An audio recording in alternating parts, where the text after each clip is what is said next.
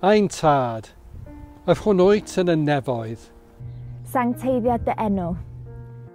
Deled y deinas, gwneled dy'r ewyllus. Megis yn y nef.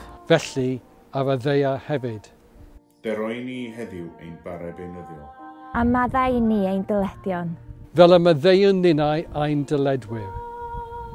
Ac nac arwain ni. Eith gwared ni rhag drwg canes eiddo ti yw y deifnas. A'r nerth. A'r gogoniant. Yn oes oes. Amen.